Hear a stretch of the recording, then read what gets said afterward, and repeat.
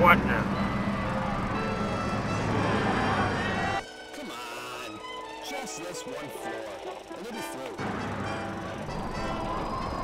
You be there, or I will be through.